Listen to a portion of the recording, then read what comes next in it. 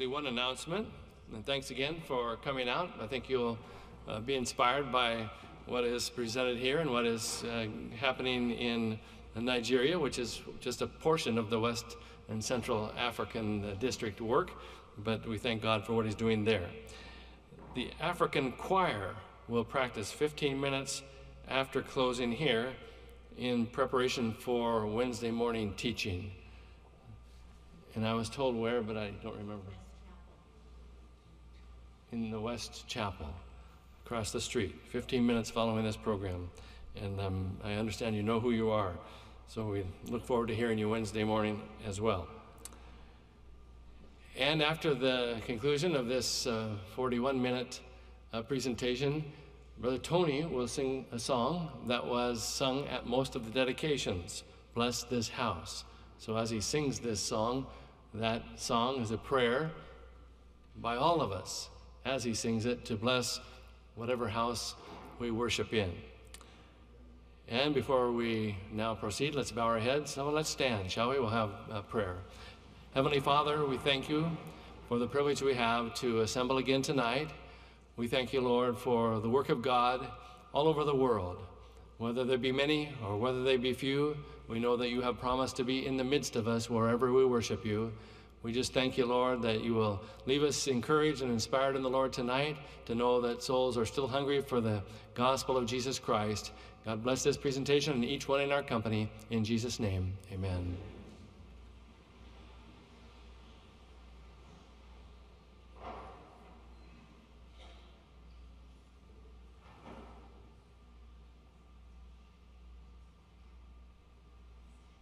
There are faces before me, faces that I have seen before and many more that I have never seen, like those who wrote the letters that were read to you this morning. Hungry hearts, people that want a way out of sin and trouble, those who are groping for the way of life everlasting, those who have found it but want to know it more perfectly. And I pledge from the bottom of my heart to do my best to bring them the words of everlasting life and truth. That was George Hughes preaching in Portland shortly before his second missionary trip to Africa. The apostolic faith work on that continent began with a faithful few like Brother George who felt a burden for those in need of the gospel and answered the call. Missionary Frank Hine was one of those faithful. During the 1920s, he received apostolic faith tracts while in Africa. He visited Portland to learn more about the people who produced those tracts and decided to stay. He soon became part of the headquarters staff as a translator and printer.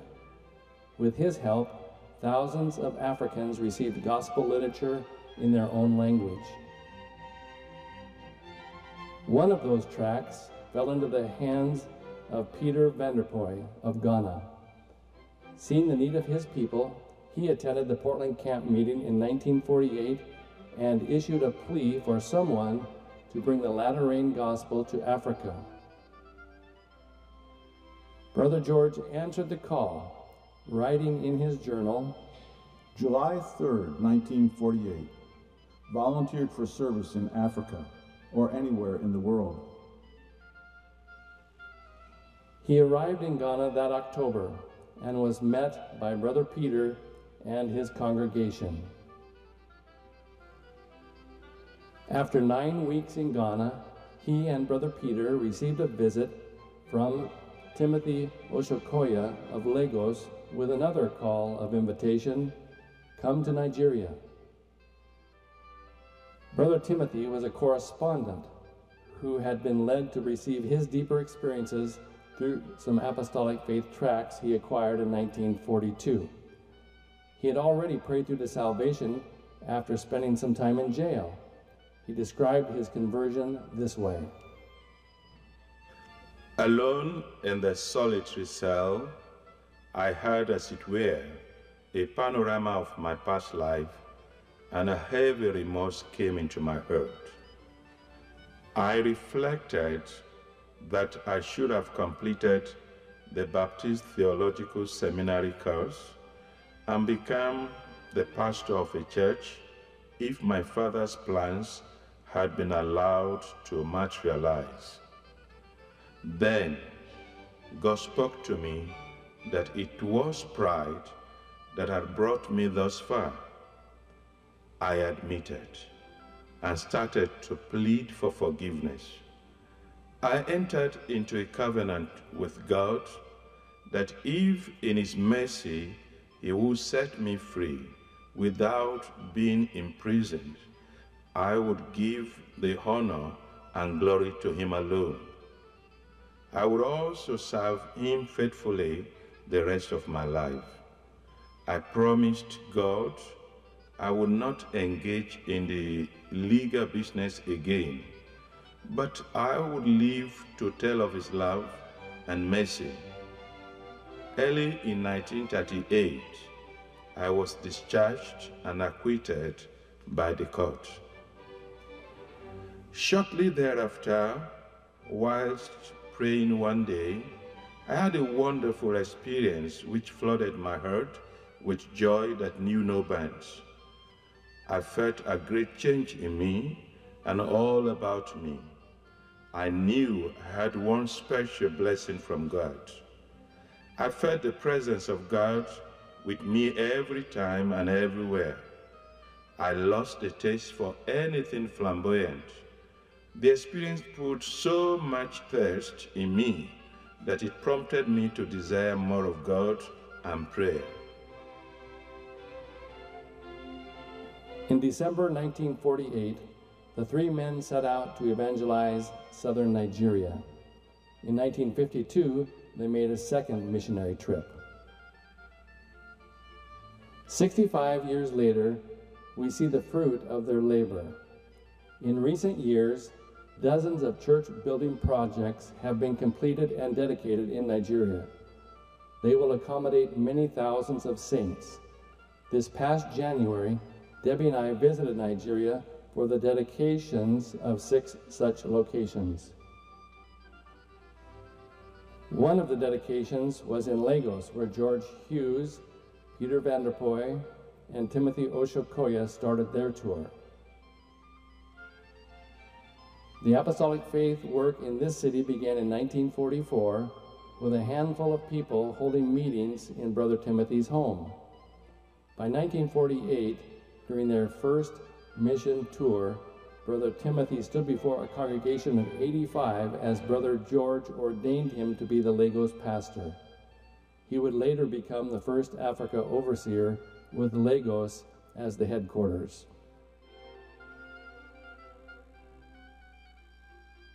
The work continued to grow. On his second missionary tour, Brother George wrote this about the congregation.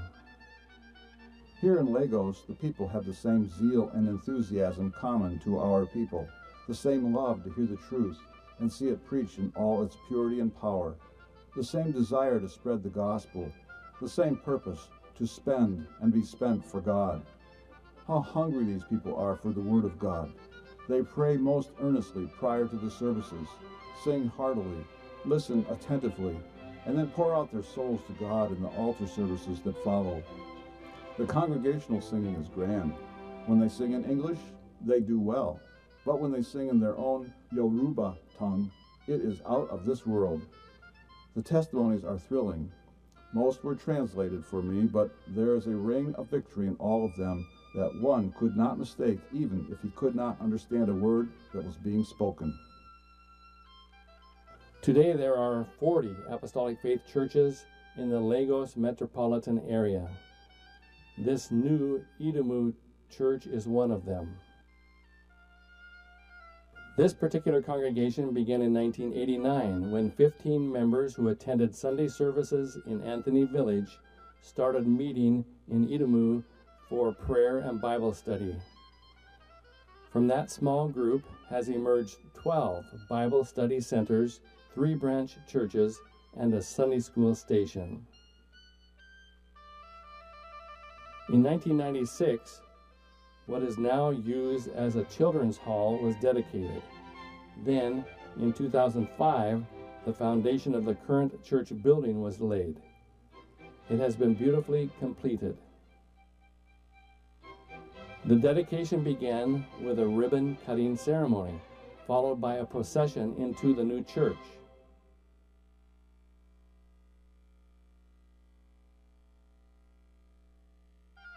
Sunday school children dramatized the scene of an elderly and feeble King David giving his son Solomon a set of building plans and the charge to build a temple.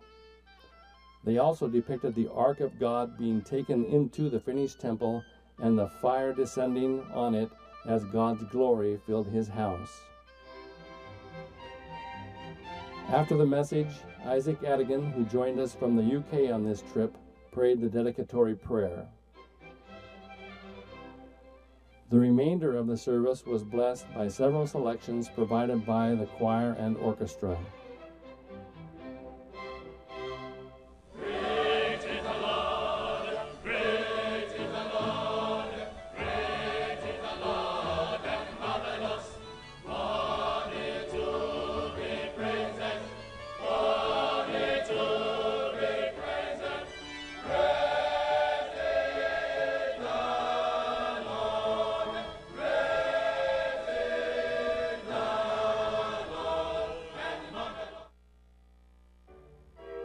First tour of Nigeria, Brother George, Brother Timothy, and Brother Peter visited the city of Wang.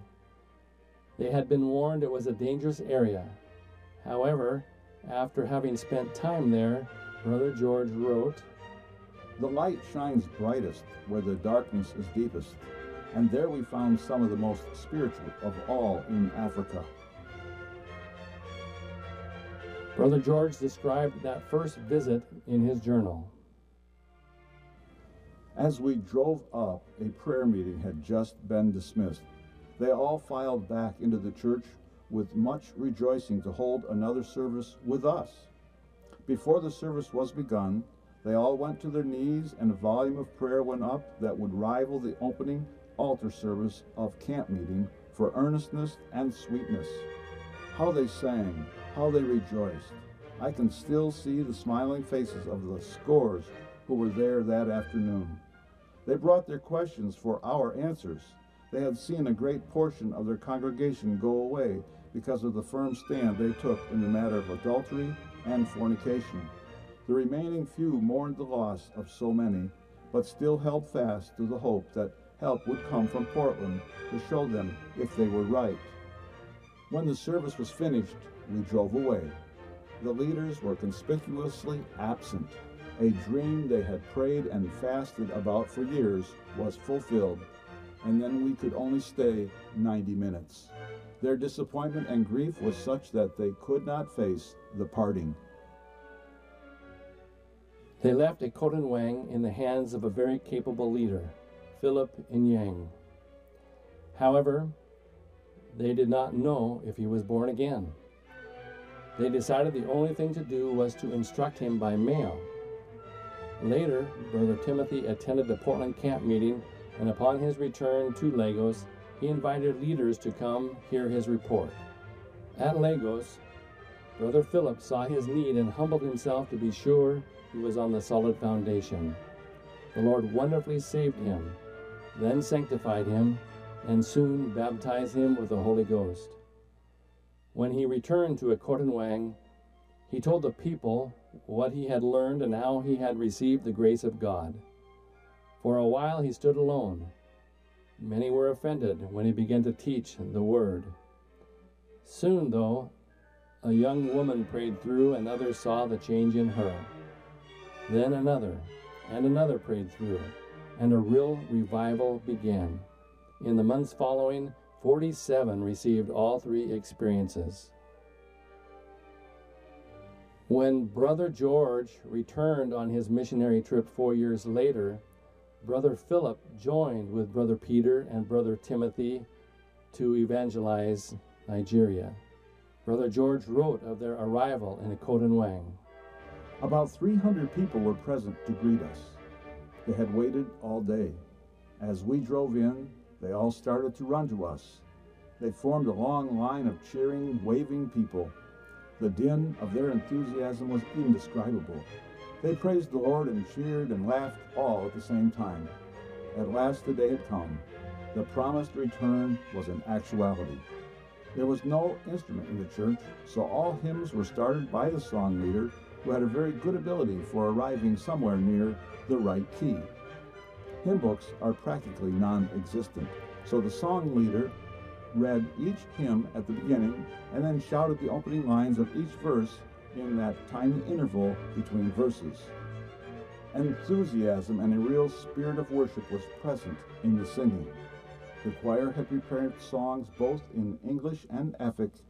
While I delighted to hear their effort to sing in a language they did not know, I rose to new heights of enjoyment when they sang in their own native tongue. When the invitation was given, they just flocked to the altar until there was no more room.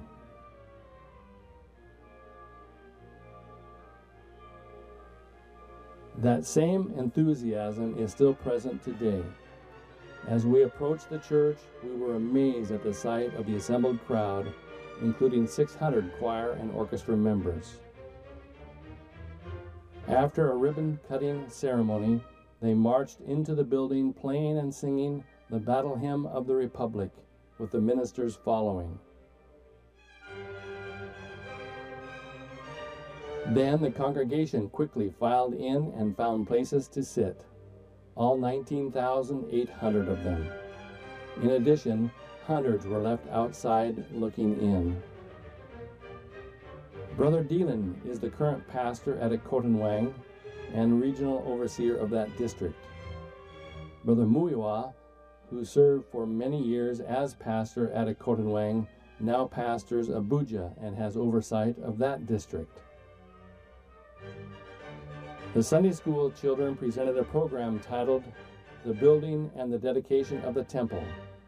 It included a choir number, memory work, and a lot of drama.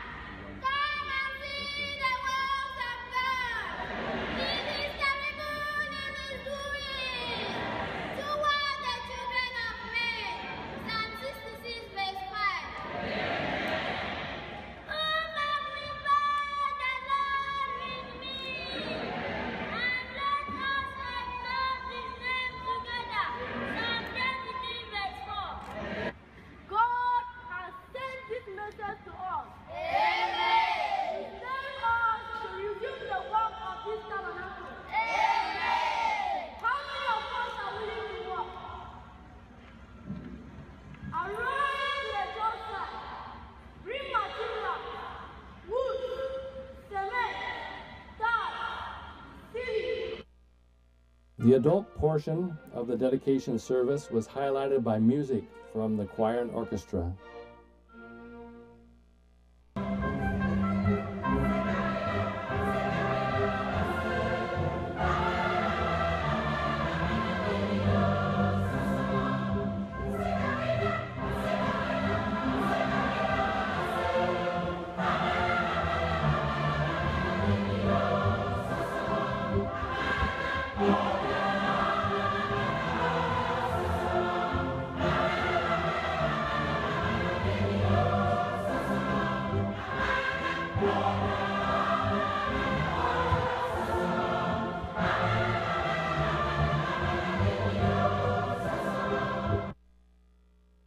Message, a solo was sung by the daughter of the late Paul Ibikunle, who was the Cross River District Overseer in the 80s. Her mother, Esther, is with us at Portland Camp Meeting this year. After the dedication message, Brother Bio, the West and Central Africa District Superintendent, gave the dedication prayer, which was accompanied by the strong presence of God. Who are in their body, those who are here, who have just managed to go, and they said, if I can just manage to get to that, God will deliver me. It's coming over you. Release your arms. Release your healing. Release your answer. Release your healing. All those who are shackled, all those who are captured by the devil, by the world, by sin, please let them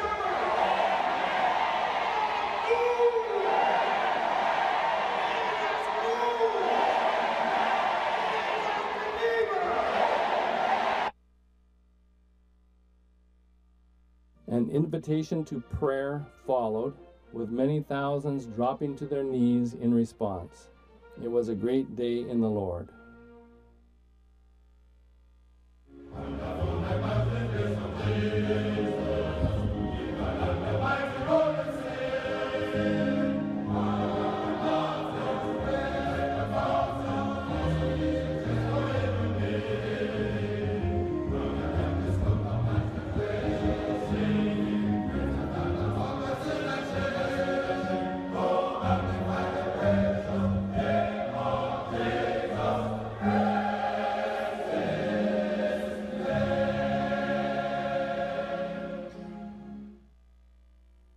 Calabar Church, just a two hour drive from Wang, was also dedicated on this trip. Brother George said this about its beginning. A young man by the name of Jonathan Bassey had received apostolic faith papers and saw the truth. When he was advised of the time of my arrival, he made a great effort to come from Calabar to Ikot and Wang. He came a hungry soul, and God filled him. He received all three experiences in the meetings. Brother Jonathan had returned to Calabar with good tidings. When we landed, we were welcomed by a huge group of people who had come to the dock to greet us. They lined the streets for about a block. They crowded around the bus and cheered, shouted, and waved their hands in greeting as we drove through. At that time, the group in Calabar was at a point of division. They had been practicing a form of spiritualism that was at times fanatical, and they lacked real salvation. When Brother Jonathan found the truth, he wanted to see it take hold in his congregation, but the leaders perceived him as a threat. Brother George wrote this about the service they held. The church was nearby and was quite a nice mud and thatch building. The authority of the church was held by an elderly man they called their apostle. Brother Jonathan held a responsible position in the church and conducted the meetings, even preaching at times. With his help, we took over and turned it into a regular apostolic faith service. The meeting was opened by Peter, then Timothy, then Philip. Does it seem like I am traveling with the apostles? The testimonies of these men were of great value to the meeting. I preached from Malachi 3:1. Then the apostles said they wanted to do things in their usual manner. The four of us were about ready to leave the service when they started their fanatical manifestations. But Jonathan, without asking approval, called everyone to prayer. When we saw the heroic stand that Jonathan took, we all wanted to stay and fight the battle through to the finish with him. We four sprang to the altar rail, and the congregation responded in the whole. Several hundred people went to their knees. The sight I then saw was enough to make one feel that the entire trip to Africa was paid for. Scores of people with hands upraised pleading for help from God, in addition to those who knelt praying in other ways at every conceivable place one could find. A young woman in front of me wept and cried and pled with Jesus. She was gloriously saved. It was a thrilling sight indeed. It will never fade from my mind. I asked Jonathan what they were praying for after a while, and he said that almost universally they were asking God to forgive their sins and make them real Christians. When Debbie and I arrived in Calabar, Brother Bio wanted to take us immediately to see the church at night. We would soon know why. The location is one of the more densely populated areas of Nigeria. About 20 blocks before we arrived, we could already see the five story tall church standing as a literal beacon of light in a community of mostly one and two story homes. The dedication service was the following morning. When Brother George preached the Bible truths without compromise years ago, he feared that there would be fewer apostolic faith churches in Nigeria than before he began his trip. But the 3,500 who were present on this dedication day is evidence of some who embrace the truth and pass it on to others. The local king and lieutenant governor were among those present.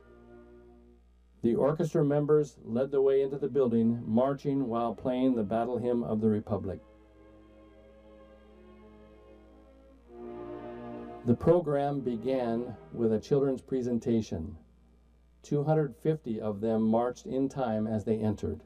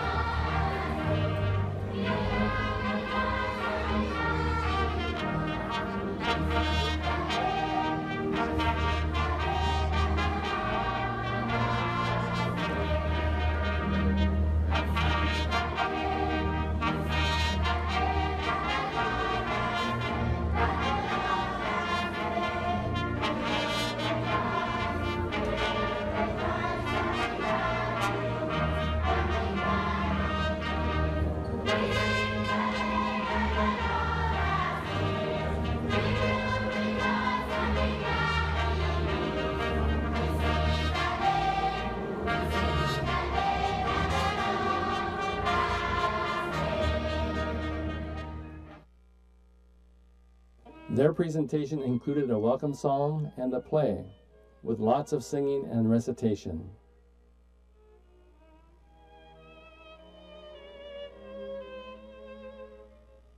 The adult choir and orchestra took over, presenting a number of selections.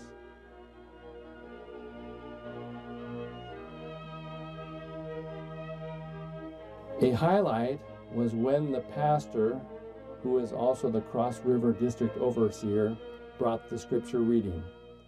Eighteen months earlier, a ladder collapsed under Brother Jonathan, sending him three stories below to a concrete floor.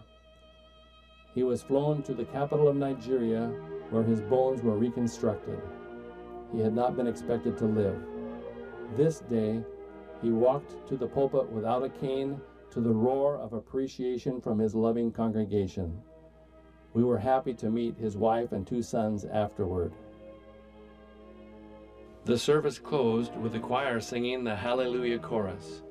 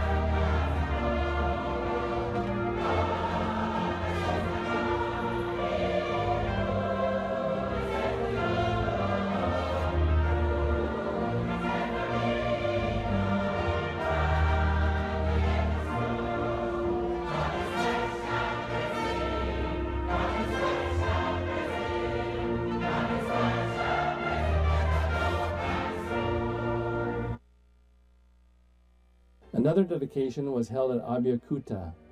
Brother George and Brother Timothy stopped here in 1949 to meet with correspondents but were unable to locate anyone. In 1954, Brother Timothy returned with a team of workers and began holding revival meetings. For a month, they traveled to and from Lagos each evening to distribute gospel literature and conduct street meetings, followed by evangelistic services. As a result, one local church embraced the teachings of the latter rain gospel and transferred the leadership and legal ownership of their organization and property to the apostolic faith. In addition, many souls were saved. That church became the regional headquarters of this work. In time, it was relocated. We attended the dedication of this new Abeokuta headquarters church and secondary school. As with previous dedications, this one began with a ribbon cutting ceremony, followed by a processional into the tabernacle. The children presented a drama on the beginning of the work here. They acted out the traveling Lagos missionaries presenting the gospel and the subsequent acceptance of signed documents giving authority to the apostolic faith. The dedication service was attended by over 4,000. It was blessed by choir, orchestra, and vocal ensembles, as well as a solo. The pastor led the congregation in singing the God of Abram praise. In attendance was Brother Aina, who was pastor of this congregation from 1982 to 1998. He is now the Ibadan Regional Overseer. An additional ribbon cutting ceremony was held for the secondary school, which is next door to the church. The motto for the school is Let the Light Shine. That won't be difficult in that the two buildings, which are very impressive structures, stand on the top of a hill overlooking much of Abeokuta and therefore can be seen from miles around.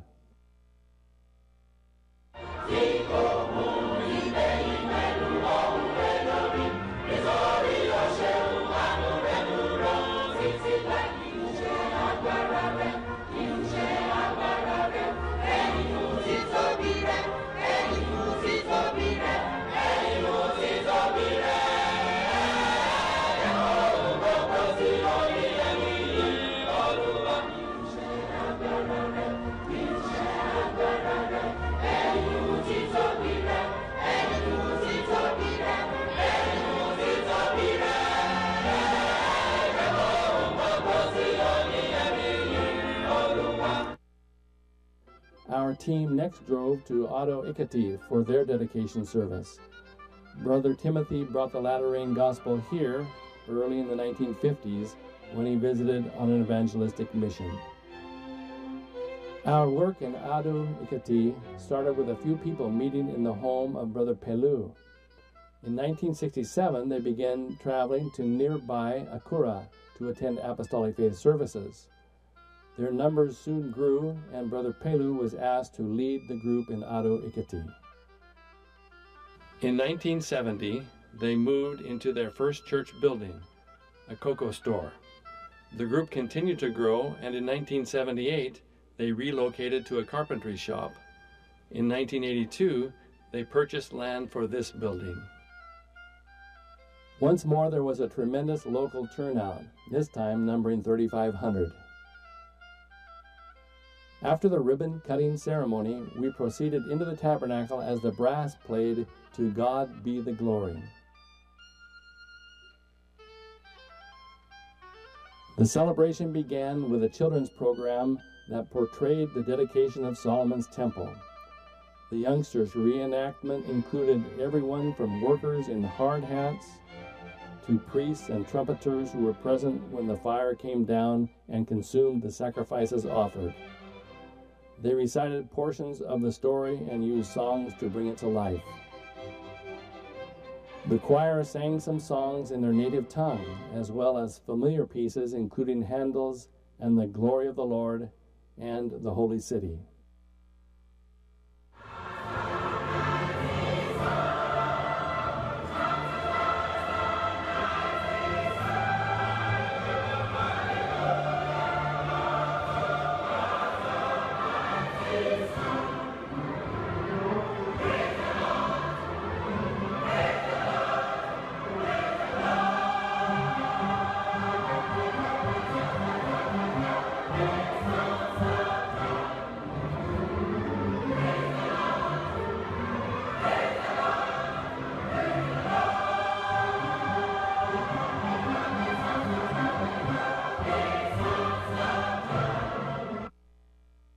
Benediction prayer was given by the Ado Ekiti Regional Overseer.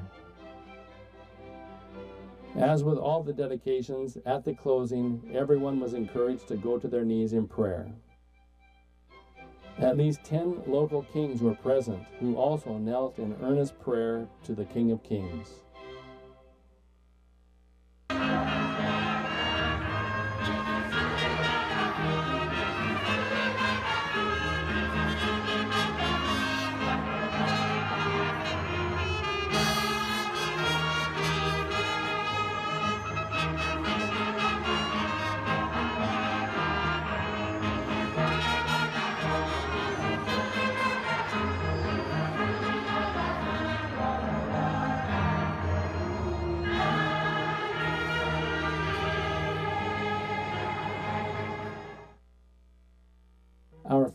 Dedication was at the West and Central Africa headquarters at Anthony Village in Lagos. In 1953, shortly before leaving Lagos for the last time, Brother George wrote in his diary Surely God has not only begun to work, but has been doing so in a real degree here in Africa. If he tarries a few more days, a much greater work will be done. Certainly that has been true. Today, our Lagos headquarters leads nearly 800 branch churches in 12 countries. A service was held in the Great Tabernacle before dedicating three specific areas of the Anthony Village complex a dormitory at the Apostolic Faith Secondary School, a resource development center, and the headquarters administrative offices. During the service, the students of the secondary school expressed appreciation for the academic and spiritual learning they gained by attending our school. Before the message, there were several selections from the adult musicians, including a ladies' quartet singing Thank You, Jesus.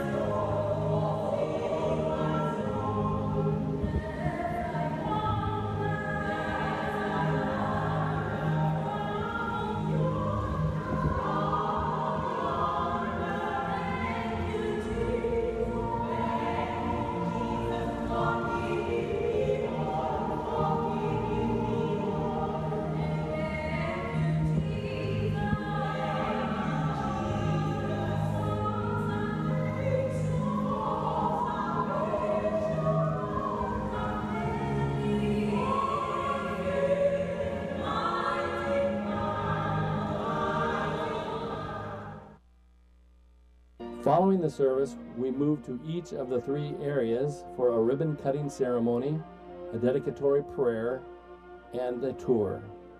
First was the new boys' dormitory. This school was established as an academic and boarding system in 2002. Today, nearly 700 students live here. Previously, during this trip, we had seen hundreds of these students wearing their school uniforms at a Sunday evening service in Lagos. At the altar call, they came forward and filled the altar area praying in earnest. It was easy to see that the school is an evangelistic effort from which the future church in this area could come. Next was the Resource Development Complex which houses several pieces of new printing equipment in a block of new buildings. The idea of having a printing facility is the result of the hunger Brother Timothy had to spread the gospel to as many people as possible.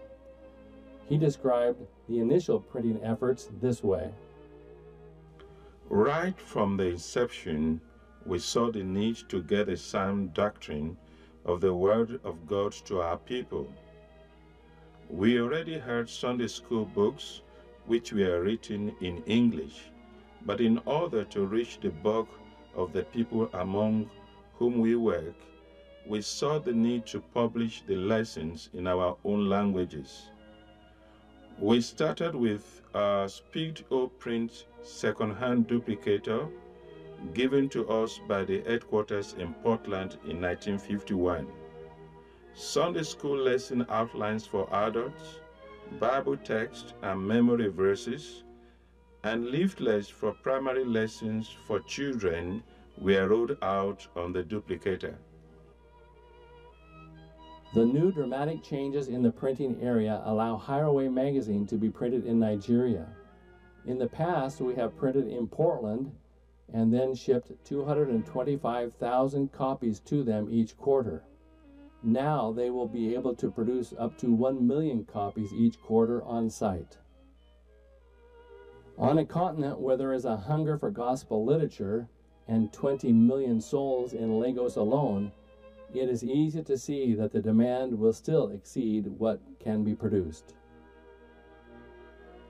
The new facility includes several printing machines, paper trimmers, stitching machines, a collation desk, digital lithography room, storage space for printed materials, director's office, and a modern training center.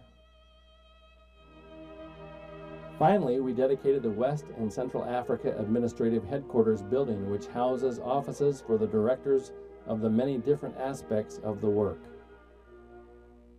The headquarters office was moved to Anthony Village in 1984. Recently, it has undergone major renovation. In the boardroom, they requested that we pray for God's continued blessing on this great work in Nigeria. But there are voices calling. There are faces before me tonight. Hungry hearts. People that want a way out of sin and trouble. Those who are groping for the way of life everlasting. Those who have found it but want to know it more perfectly. And I pledge from the bottom of my heart to do my best to bring them the words of everlasting life and truth. Brother George Hughes saw faces before him and he answered God's call. May we likewise be inspired to continue sharing the gospel message with those whom God puts before us.